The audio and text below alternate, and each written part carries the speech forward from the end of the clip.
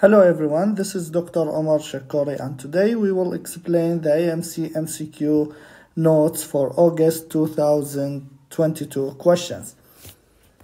To start with, I want you to know that uh, this month we have just about uh, 10 to 15 percent question of new questions and most of the old questions are not from the past two months not from july not from uh, june. And this is the new things happen uh, this month for amc mcq exam. But still the main advice to you is to read the last four to six months of recall and save them in your mind. So let's start with the August 2022. Let's start with the first question. So what's the diagnosis here? In this lesion, as you see, it is red and there is a whitish scales. This is this is absolutely solar keratosis. This is absolutely solar keratosis. It is redness lesion with white scales and this condition is a pre-malignant lesion and need to be removed surgically. Need to be removed surgically. Question 2 is very important question and very repetitive question in August 2022 and here you see a biceps this is a biceps rupture this is biceps tendon rupture. This uh, uh, condition need treatment surgery need surgery but if the patient on warfarin you have to stop warfarin.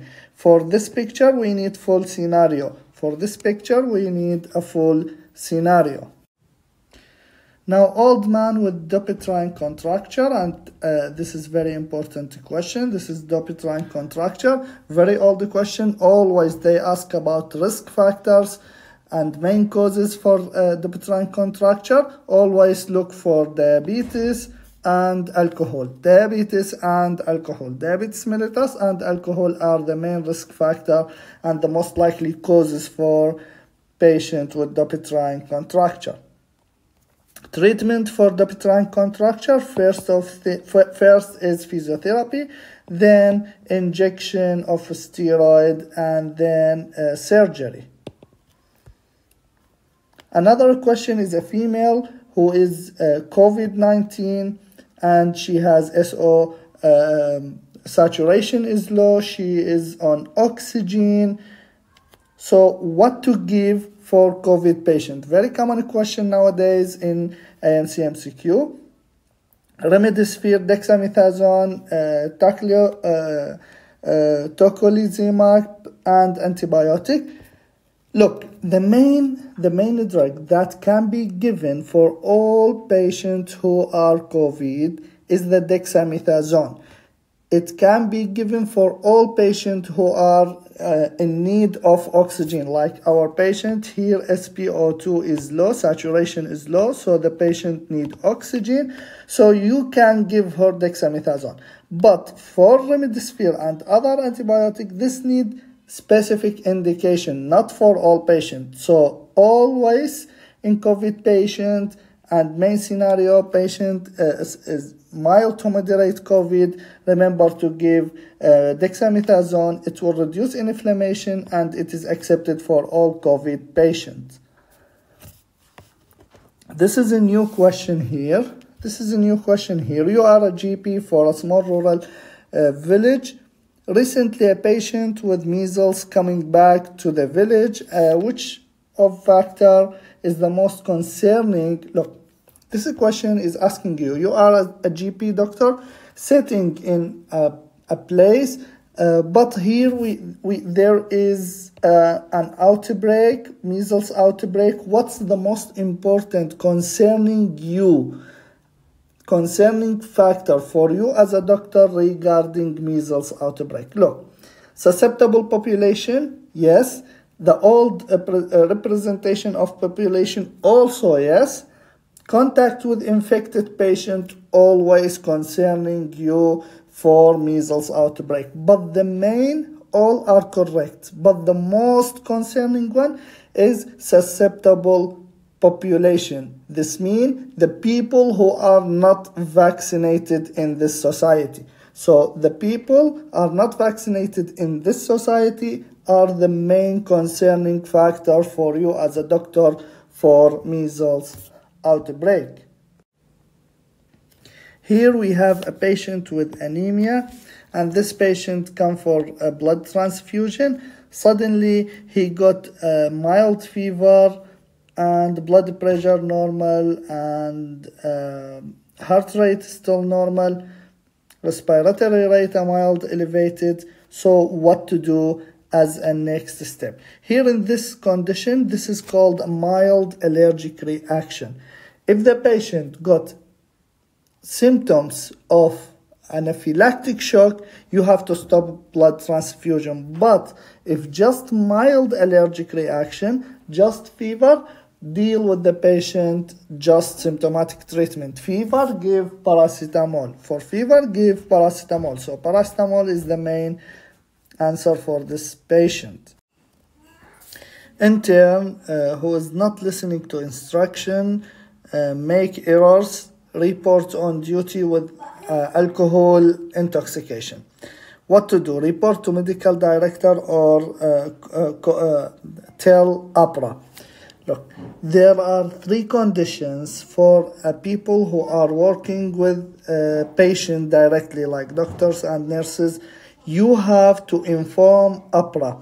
If the if those who are taking alcohol as intoxication, a lot of, and who are taking drugs, medications, drugs, and who are uh, uh, sexual misconduct. Those three things you have to uh, inform APRA about them.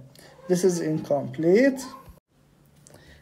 Here we have patient who is old with difficulty walking for uh, 24 hours and he has decreased sensation of pain and temperature and Romberg, uh, Romberg test is positive. Look, in our study for AMC, remember Romberg test positive occur only in vitamin B12, in vitamin B12 deficiency.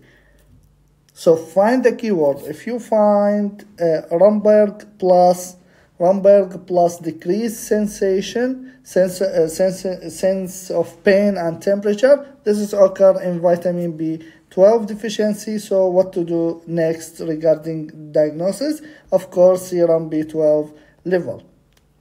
Another another question about uh, vitamin B12, megaloblastic anemia, numbness, and in patient who is a veget uh, not vegetarian, not strict vegetarian, indicate deficiency of which vitamin. This is occur also in vitamin B12, vitamin B12 deficiency. An infant with uh, this is very repeated question also in 2022 a patient who is infant with 1 cm lump. What to do next? You are a GP. Next, refer to pediatric surgeon. Next, refer to surgical ward.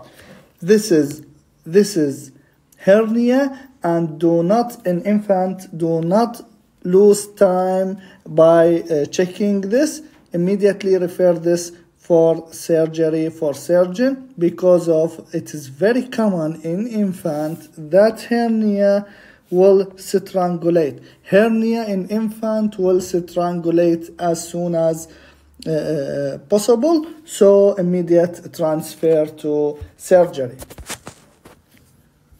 a 15 year old uh, girl with boyfriend presented for termination of pregnancy. You are a gp but you you don't want to uh, do termination and this is uh, illegal for you as a doctor. You are not doing this type of uh, uh, medical intervention. So what to do? Please refer this uh, lady this girl to another gp refer this girl to another gp now, child with this is very very important question. Child with a rainy nose and mother with uh, domestic violence, bruising and admit abuse. So what to do? Look, the priority in Australia, the priority is for a child. The priority is to protect the child. Here we have domestic violence. So this this this house is not safe for the child. Still here the mother who, who has the domestic violence, not the child, but still what to do next for you as a doctor once you have this mother once you have this uh, uh, i mean this patient this mother patient you have to call for a child protection authority. The child protection is a priority for you as a doctor. If you have a family drug history or a family with domestic violence or family with alcohol intoxication please report and they have a child please re, uh, please report this for the child protection authority first